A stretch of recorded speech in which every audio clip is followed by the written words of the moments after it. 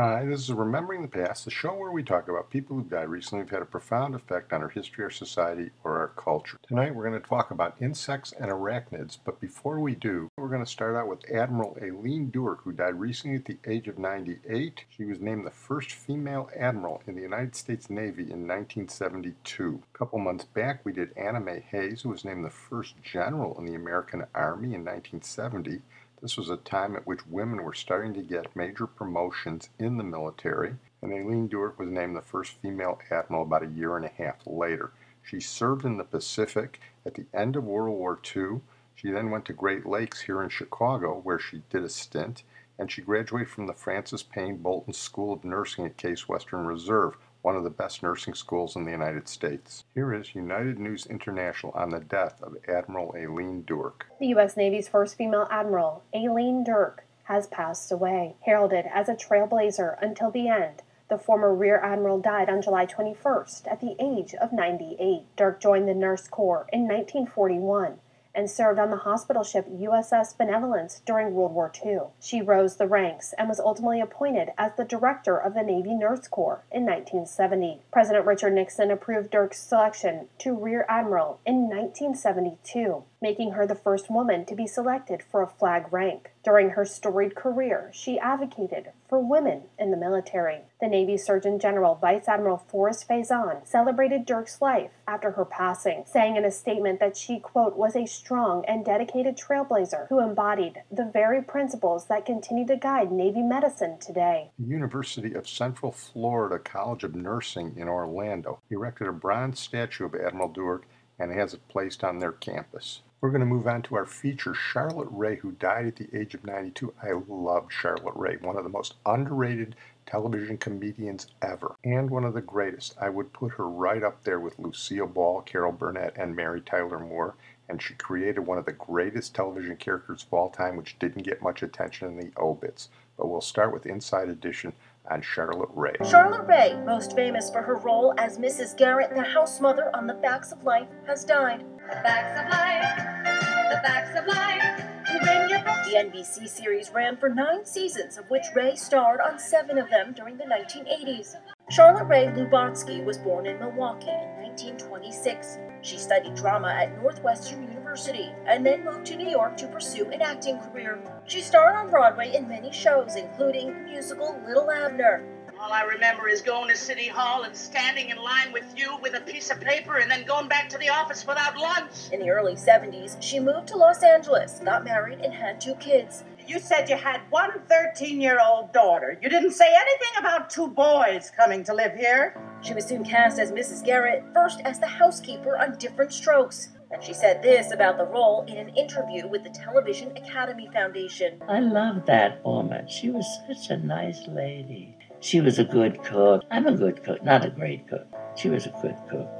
Years later, she co wrote with her son Larry an autobiography called The Facts of My Life. In 2016, she said about her former castmates I'm still close to the girls. They're beautiful. They're beautiful. Now it's woman to woman, not uh, woman to children. That clip used her greatest role and didn't even mention it, but we'll get back to that. She was one of the first stand up female comedians on television. Here she's in 1954. It all started when I was just a child.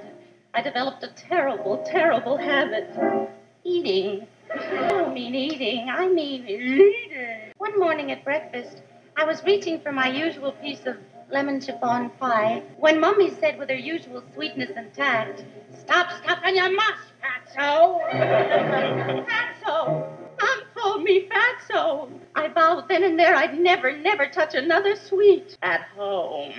the real beginning of it all. The sneaking around with Fig Newtons. The secret fun I had with Nabisco wafers. The rendezvous with pistachio ice cream. I didn't get ice cream at home. I didn't mind. I knew a man on the block who pushed the stuff. Nobody knew but me. And the bathroom scale. When I was 22, though, I finally began to feel maybe something was wrong. All my friends were getting married or having glamorous careers for themselves. I lumbered on. I felt even more certain something was wrong the time my childhood friend came home from Memphis. Instead of saying, Honey, is that you all? She said, Honey, is that all you? Well, that great character I was talking about that they ignored was Sylvia Schnauzer, the wife of Leo Schnauzer or Al Lewis on Car 54, Where Are You? An absolutely hilarious character. Here, at the end of her life, she talks about the creation of Sylvia Schnauzer and how they should have had a series for her, but the creator, Nat Hiken, died of stress, probably mostly from Joey Ross. Al Lewis needed a wife. He said that the first episode will be that every Thursday night, we drive the other officers crazy because we're always arguing, arguing, arguing. So they try to skip Thursday night and say it's Friday. And Al Lewis and I had to really know how to argue with each other. So I rented uh, the studio of my acting teacher in New York, Mary Tarcai, and we went in there and started stabbing at each other. And at the end of the hour, we were really battling. So we were ready for the fighting and everything, and and we did it all the time. And then you know Al and I, he he thought we were very good, and he said that he would like to do a series for us. But Nat died. He died at at 54. He smoked too many cigarettes and too much aggravation, I guess. Here is some of that arguing in the inaugural Car 54 episode with Sylvia Schnauzer. Hello, Sylvia. Hello, Francis. Hello, Gunther. Well, are you happy? Are you happy? You disgraced us again in front of all the neighbors. I disgraced. If you hadn't started with that big mouth of yours, Leo. look what I'm calling a mouth. That's a burglar alarm with key. You see, you see, with his yelling and his screaming, and all I've been trying to do is say two words to him all night. Drop dead! Show me how, please. Quiet, the both of you. I'm sorry. Leo, when is this going to end? When? When I can walk into this house on a Thursday night, ask an intelligent question, and not get a stupid answer. Hold it. Now, what caused the argument this Thursday night? What caused it? I'll tell you what caused it. She said that Gene Kelly was a better dancer than Fred Astaire. Fred Astaire can't carry Gene Kelly's tap shoes. How can you talk to a woman like this, Leo?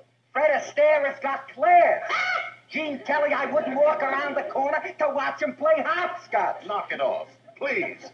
Okay. Well, at least their arguments are getting topical. Last Thursday night, you know how it started? One of them said that James Polk was a lousy president. James Polk was a lousy president. James Polk was a great president. You know what the trouble with you is? You still got that stupid schoolgirl crush on Thomas Jefferson because of his powdered wig. Well, let me tell you something. Thomas Jefferson you snuff. He did not. He did too. He did not. That would have been a great television series. Well, I said we were going to talk about insects and arachnids, so let's start with insects and Lincoln Brower, who died recently at the age of 86, one of the world's experts on the monarch butterfly and the migration pattern of the monarch butterfly. One of the miracles of biology. Every year in the spring and summer, monarchs migrate from the upper Midwest of the United States to a small forested area on the side of a mountain in Michoacan in Mexico, the southwest corner of Mexico. And this migration pattern wasn't established until the 1970s, and Lincoln Brower was one of the people who established it, and here he talks about it. Monarch butterflies have been known to migrate south in the fall, but it was, was not until 1975 that they were discovered overwintering in Mexico. Nobody knew where these literally hundreds of millions of monarch butterflies were migrating out of the eastern United States.